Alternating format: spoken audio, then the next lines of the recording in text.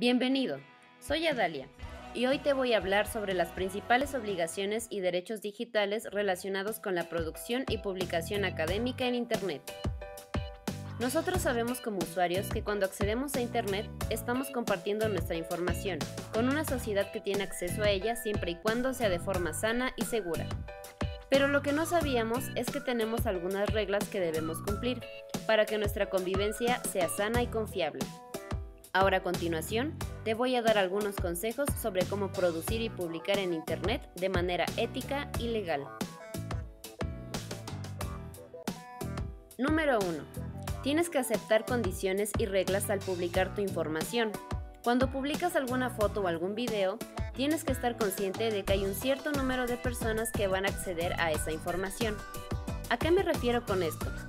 Bueno, pues que van a comentar tu foto o video o lo que sea que estés publicando.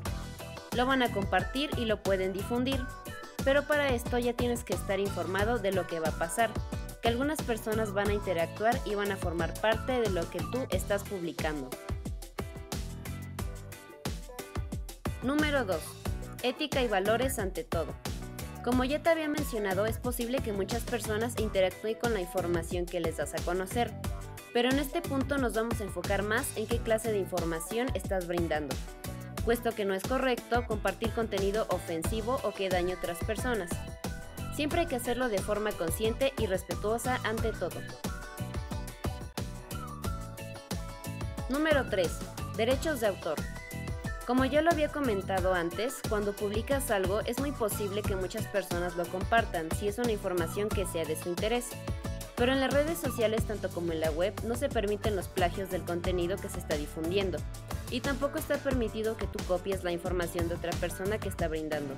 No olvides este punto, puede que sea el más importante. Número 4. El comportamiento en redes sociales y la sana convivencia. En Internet como en todos lados vamos a encontrar personas que no comparten nuestro punto de vista, pero no por eso tenemos que ser ofensivos y agredirlos.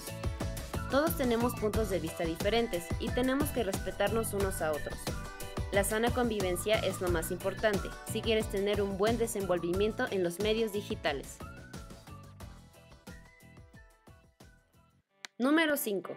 No al robo de identidad. A veces nos ha pasado que usamos la fotografía de alguien más sin su autorización y creamos un perfil o simplemente nos aparece un perfil en redes sociales como Facebook, Twitter, YouTube o Instagram. Pero no te confíes. En Internet hay muchos perfiles que son falsos. Y tenemos que tener cuidado y también ser conscientes que si nosotros creamos un perfil falso, aunque sea solo para hacer una broma o lo consideremos divertido, esto es un delito no hay que restar la importancia en lo absoluto. Bueno, esta es la información que te quería compartir y espero que te haya gustado mucho estos consejos sobre compartir información de manera ética y responsable.